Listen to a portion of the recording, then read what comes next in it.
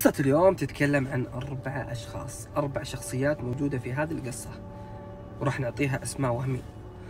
الأربع الأشخاص هذولي أطفال يدرسون في إحدى القرى. في الأربعة دائما الصباح يجتمعون. إذا طلعوا من بيوتهم يمرون بعض إلين يجتمعون الأربعة ويمشون سوا إلى المدرسة. فالطريق اللي كانوا يروحون فيه المدرسة كان بعيد شوي. دائما يروحون منه إلا أنه في طريق مختصر. لكن الطريق هذا ما يروحون منه لأن الطريق هذا اسمه طريق مقبرة القرية. فكانوا يخافوا من الأشياء اللي كانت تصير والأشياء اللي يسمعون فيها وأهاليهم كانوا يحذرونهم أنه لا تمشوا من هذا الطريق. مع أنه مختصر بس امشوا من الطريق اللي يروحون منه الناس للمدرسة. أربع أشخاص هذول نفترض اسمهم وليد وأحمد ومحمد وعلي. فوليد وأحمد اطلعوا من لأن بيوتهم قريبة من بعض اطلعوا متأخرين. فوليد يقول أحمد يا أخي تأخرنا اليوم. وأحمد يقول إي والله ما صحيت إلا متأخر. طيب كيف الحين؟ تونا بنمر على محمد وعلي بنتأخر وكذا.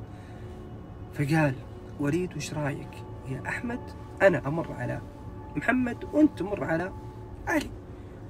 ونلتقي في نص الطريق عشان نختصر الوقت. وبالفعل وليد راح عشان إلى بيت محمد وأحمد راح إلى بيت علي. المهم كل واحد راح الخوية إلين ما اجتمعوا في المكان اللي اتفقوا عليه. يوم وصلوا قال وليد والله يا عيال يعني بعد ما شاف ساعته قال إحنا ما يمدينا الآن نوصل المدرسة. تأخرنا. فكل واحد يعطي عذر إنه يا أخي خلنا نهرول يمكن نلحق والثاني يقول لا ما يمدينا. فجاء وليد وقال إيش رأيكم؟ عندي حل عشان نختصر المسافة هذه. وش رأيكم؟ نروح مع طريق المقبرة. مختصر وبنوصل على طول يعني نختصر مسافة طويلة. وبكذا بنسلم من العقاب والمشكلة اللي بتصيرنا من مدير المدرسة. فكل واحد قال لا طريق المقبرة أهلي مانعينا وهذا يقول صار كذا وخايفين كذا. قال وليد شوفوا وليد شوفوا أنا بالنسبة لي والله عقاب المدرسة. تراه أقوى من إني أمشي من هالطريق. فأنا بمشي من هنا واللي يبغى يمشي معي عاد يلحق وبالفعل وليد مشى. يوم شافه محمد قال انتظر انتظر أنا بلحق وراك. وبالفعل لحق محمد ورا وليد وراحوا من طريق المقبرة. باقي أحمد وعلي يناظرون بعض. شلون الحين؟ هذول مشوا يعني نمشي إحنا من هنا نتأخر. دامهم مشوا مع بعض خلاص إحنا يعني مو لحالنا معانا اثنين. إيش رايك نلحق وراهم؟ فقال له علي والله اللي تشوفه عاد خلاص خلينا نلحق وراهم. بالفعل أحمد وعلي مسكوا يدين بعض وكان طبعا أحمد أكبر عمر من علي فعشان كذا هو اللي ماسكه ومشى بالرغم إنه علي كان خايف. أكثر شخص كان خايف في هذه اللحظة ويخاف من هذا الطريق لأنه أهله كانوا يحذرون. فكان طول الطريق يعني يعني هم ماشيين يبغون يلحقون على أخوياهم اللي قدام إلا إنهم ما قدروا يلمحونهم لأنهم دخلوا قبلهم. فحاولوا يهرولون كذا هرولوا يعني استغرب أحمد وعلي إنه يعني المسافة بسيطة. الوقت كان بسيط بينهم وبين أخوياهم إلا إنه ما قدروا يلمعونهم فكانوا يهرولون إلين ما هدوا شوي. فصار أحمد يمسك يد علي لأن علي كان خايف. ويلتفت يمين يسار يشوف القبور ويشوف المكان اللي يخوف. أما أحمد كان عينه قدام. لو طريقهم هم خايفين إلين ما لمحوا سور المدرسة. هنا أرتاح أحمد وأرتاح علي إنه خلاص وصلوا وشافوا إن الطلاب توهم يدخلون يعني تو الطابور ما بدأ والحمد لله إنه ما راح يصير لهم شيء. فدخلوا على طول الطابور وبدأوا يبحثون على أخوياهم اللي هو وليد ومحمد. فيدورون زي كذا ما ما لكم مع إنهم متعودين كل صباح الاربعه مع بعض وفي الطابور وزي كذا إلا إنه ما ما لهم أي أثر. فقالوا خلاص بندخل في الطابور عاد في الفسحة نلتقي زي كل يوم. جت الحصة الأولى الحصة الثانية جاء وقت الفسحة. نزل أحمد وعلي على أساس أنهم بيلقون أخوياهم الباقيين اللي هو وليد ومحمد. لكن تفاجئوا كل واحد يسأل الثاني ما شفت فلان؟ والله ما شفته. غريبة هم ماشيين قبلنا. ما وصلوا وش صار فيهم؟ خلنا نسأل طيب فصولهم. راحوا يسألون في الفصل يسألون الطلاب اللي معاهم. قالوا ما حضروا اليوم أبد. فهنا أحمد قال شكلهم صار لهم شيء في الطريق لا سمح الله. لأنه حنا يعني لحقنا بعدهم ما شفنا شيء فقال علي هذا اللي كنت خايف منه. واللي شفته في الطريق. انهبل أحمد. قال وش شفت في الطريق؟ قال والله يا أحمد وإحنا ماشيين في الطريق أنا تلفت يمين يسار على القبور ولمحت شنطة على قبر. والشنطة هذه نفس شنطة محمد. أحمد يا رجال وش اللي شنطة فلان؟ يمكن إنك تتوهم أو مع الخوف أو يمكن إنها شنطة واحد من الطلاب أو أي شيء يعني مو كيف عرفت إن هذه هي شنطة محمد؟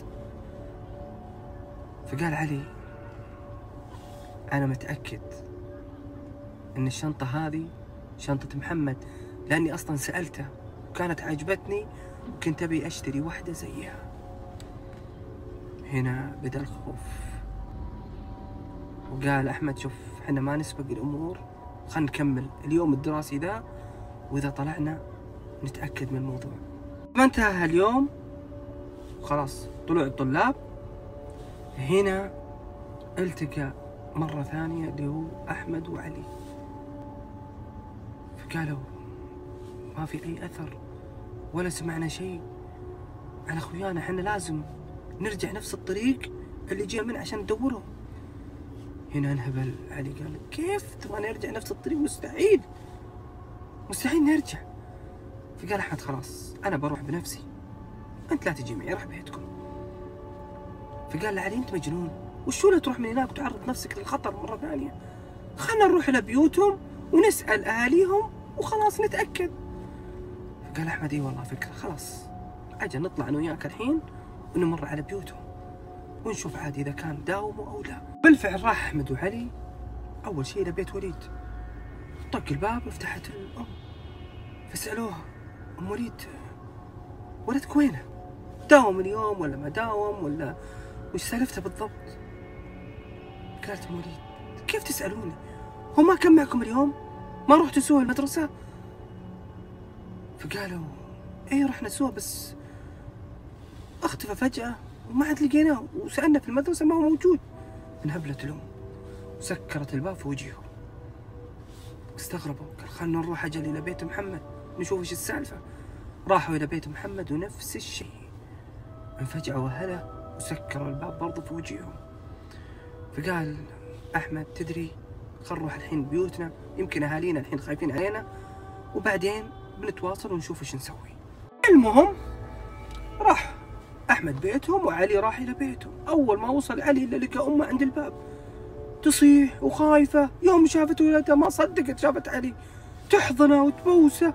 أنت فيك شيء؟ صار لك شيء؟ وتلمسه يعني تشوف هو صار له صار حاجة فيه ولا أنا هبل علي قال لا أنا بخير وش فيك؟ يا أمه وكذا ما فيني شيء. المهم قالت الحمد لله على السلامة وكذا وهو ما يدري وش اللي صاير. دخلتها البيت وقالت له شوف من بكرة ترى أبوك هو اللي بيوصلك المدرسة وبينزل يدخلك المدرسة وهو اللي بيجيك وياخذك من المدرسة خلاص كل يوم. فاستغرب قال يا يما وش الشيء هذا؟ وش اللي صاير؟ ليش يعني تغير الشيء هذا؟ وليش أبوي يوديني؟ وش فيها إذا مشيت أنا؟ ما أخذ. علي أي فكرة من اهله وش اللي صاير؟ وليش خايفين عليه بالشكل هذا؟ لكن قال مو مشكلة. بكرة نتقابل كلنا إن شاء الله ويرجعون أخويانا برضو ونمشي كلنا مع بعض. وبتأكد من أحمد وش صار معه هو برضو مع أهله. المهم اليوم الثاني طلع علي الحالة استغرب إنه ما في أي أحد من أخوياه. أول مرة يطلع الحالة مع إنه دائما مع بعض. حتى أحمد ما له حس. قال مو مشكلة بوصل المدرسة وبتأكد. ومشى مع الطريق العادي اللي دائما يمشي منه. خلاص ما عاد يمشي مع طريق المقبرة لأنه شيء يخوف. وصل المدرسة دخل الطابور. ما لقى أي واحد من أخوياه حتى أحمد ما له أي أثر. بعدها راح سأل الفصل اللي فيه أحمد سألهم. قال والله أحمد ما هو موجود. فقالوا له ما داوم اليوم. استغرب. معقولة؟ هو من عوايده إنه يغيب. قال مشكلة بسأل عنه اليوم الثاني جاء اليوم الثاني. يسأل والله ما داوم. راح عند الإدارة يسألهم والله أحمد خوي ما داوم أسأل يعني وش صار عليه وزي كذا قبل ما أروح لهلا أنا هو اليوم اللي قبل راح أخوياه الثانيين وانطرد من من اهاليهم فخاف إنه يروح البيت أحمد ويصير شيء قال خليني أسأل الإدارة. سأل الإدارة فهنا صدموه الإدارة إنه أحمد سحب ملفه اهله جو سحبوا ملفه ونقل إلى مدرسة ثانية. طيب كيف؟ وليش؟ وش اللي صاير؟ ما ندري. أي بلد؟ ما لا لا. آه، وش الحاجة اللي بتصير وزي كذا؟ ما يدرون. فهنا انصدم معقولة؟ انصدم يعني معقولة؟ أخسر أخوياي كلهم مرة واحدة؟ وش اللي صاير في سر في الموضوع؟ لازم أعرفه. فقال بروح إلى بيت أحمد وأتأكد من اهله وش فيه وليش نقل يقول يوم رحت إلى بيتهم إلا لقيت جيرانه توني بطق الباب قال لي طق الباب ليش؟ هذولي أمس انقلوا راحوا من الحارة هذه. وين انقلوا ما ندري. ليه؟ ما ندري. هنا زاد الشك عنده. ومن وقتها جلس علي سنوات إلين ما دخل الجامعة. وهو ما يدري شيء عن أخوياه خلاص نساهم ما يعرف شيء أي, أي حاجة عنهم قعد سنوات وإلين ما دخل علي الجامعة. وما شافهم أبد. لكن ذاك اليوم هو مداوم في الجامعة بالصدفة لمح واحد. الشخص هذا يوم قرب منه. علي قال أعرفه قرب منه لين شاف ملامحه وقفه. معليش. أنت فلان بن فلان بن يقول يوم قلت له كذا قال لي إيه. وهو برضو عرفني. يقول في الأخير عرفت إنه هذا أحمد صديقي. بعد السنوات من طفولة في سادس ابتدائي إلين الجامعة. فالتقيت أنا وياه سلم علي ورحب فيني وزي كذا وكأنه يوم شافني جاه شيء من الخوف. أحس إنه خايف أو في في حاجة مو طبيعية مع إنه كان مبسوط. فسأل سألته قلت له يعني سألته قلت يا أحمد وش صار لك؟ يعني نقلتوا من آه المنطقة واختفيت وما عاد عرفت عنك شيء وكنت أبغى أسأل قال والله شوف الشيء هذا يا علي غصبا عني لأنه هذا كان قرار أهلي ما هو قراري أنا. فيقول سألته قلت طيب وشو يعني؟ وش اللي صاير؟ من هذاك اليوم ما ندري عن آه، الشيء اللي صار. هل عرفت أنت حاجة عن آه، وليد وعن محمد؟ فهنا بدأ كأنه زاد الخوف عنده. وقال لي ليش انت ما دريت باللي صار؟ قال علي والله إلى الآن ما عرفت لأنه أهلي رفضوا إنهم يعلموني. قالوا لي أنت لسه صغير يعني لين تكبر. يقولوا كبرت وبرضو إلى الآن ماني عارف إيش اللي صار. وعندي فضول إني أعرف. قال لا أحمد كويس إنه أهلك ما علموك. أنت في نعمة. الحمد لله إنهم ما علموك باللي صار. كويس إنه ما دخل الرعب والخوف فيك بسبب الشيء اللي اللي سمعته. هبل علي قال علمني يا أخي اترك الإلغاز هذه. وش اللي صاير؟ فقال له أحمد أنا للأسف إنه أهلي فاجئوني وعلموني باللي صار. واجبروني إن إحنا نطلع من المنطقة هذه. ووافقت لأني عرفت الشيء اللي صار. الوليد ومحمد والعذاب اللي صار لهم في دقائق معدودة والنهاية المؤلمة اللي صارت لهم. وأنت احتفظ بذاكرتك الطفولية الحلوة وخلي الفضول عنك وش تستفيد إذا عرفت صدقني بتدخل في ضيقة وحالة نفسية وخوف وهلا زي الشيء اللي صاير لي أنا. دخلت في حالة نفسية وتعالجت بسبب الموضوع هذا. لا تدخل نفسك في الطريق هذا عشان ما تتعب عشان ما تخاف.